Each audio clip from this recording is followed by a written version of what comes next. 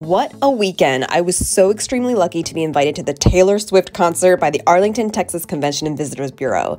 They put together a 24 hour VIP fam experience for us, and it was so well thought out. I mean, just look at this invitation with all the details of the trip embedded within Taylor Swift's lyrics. My husband came with me mainly as my emotional support human because I have a terrible fear of flying, and I'm basically an entire wreck for like a whole week leading up to a flight. But I somehow managed, and we had a smooth flight from San Diego and finally landed in Dallas Fort Worth. This is actually my first time in Texas. I was able to bring a guest with me to the concert, so of course I had to invite my cousin Nicole, who is a long-time die-hard Taylor Swift fan. Nicole flew in from Florida, so we had a happy reunion at the airport. A driver picked us up from the airport and took us to Live by Loews Arlington Hotel, a luxury hotel that's walking distance to AT&T Stadium. We all met in the lobby of the hotel to get to our first stop. Had no idea we would be taking a limo there. What? First stop, Four Kahunas Tiki Lounge. Such a fun ambiance, and of course we all got laid upon arrival. Look at this beautiful charcuterie spread and these drinks. Yum!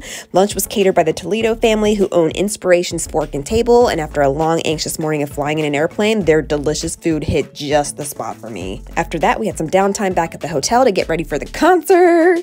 When we got to our room, they had gorgeous welcome bags waiting for us. Look at all this awesome stuff. A portable phone charger, clear purse for the venue, red lipstick and red sunglasses because duh, and so many other fun goodies. Nicole and I spent way too much time freaking out about the welcome bag that we lost track of time and realized we had like eight minutes left to get ready for the concert. We got a quick TikTok in though. Since Reputation is my favorite Taylor Swift album, I dressed for her Reputation era. Look at these amazing friendship bracelets that Nicole made for us. After quickly getting ready, it was time for the pregame, which was at Hearsay Arlington, a beautiful speakeasy lounge. The old fashioned 1920 style booths made me feel so fancy. The drinks were perfectly made, and the live music was jazzy versions of Taylor Swift songs. Mm hmm. I was feeling good. It was finally time for the concert.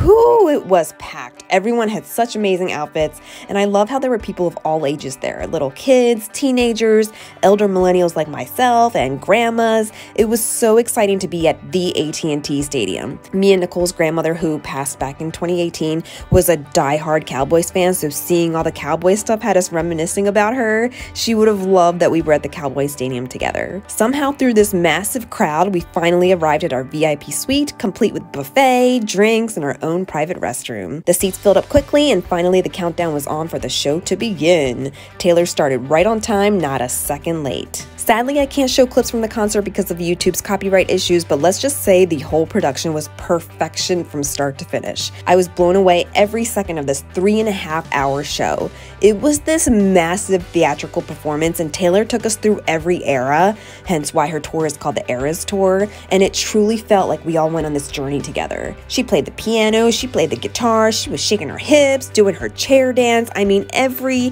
hair flip, wink, runway walk, sly smile was perfectly executed. She was truly born to be a performer. She hardly took any breaks. She would leave the stage for maybe like two or three minutes at most, and then she would return with like a total costume and boots change. I could not believe she performed for over three hours and still looked and sounded amazing by the end. And to repeat this all over the next day and the next, amazing. What an experience. It was about midnight by the time we got back to our hotel room. We had brunch the next morning at Cut and Bourbon, a steakhouse located inside the hotel. Of course, we spent the entire brunch discussing the amazingness of the show. Then it was time to head home. This past weekend was an experience I will never forget. Thank you so much to everyone at the Arlington Convention and Visitors Bureau for inviting me and putting together such a flawless, amazing experience for all of us. Arlington was so welcoming and kind to us. Thank you for making my visit to Arlington so positive and memorable.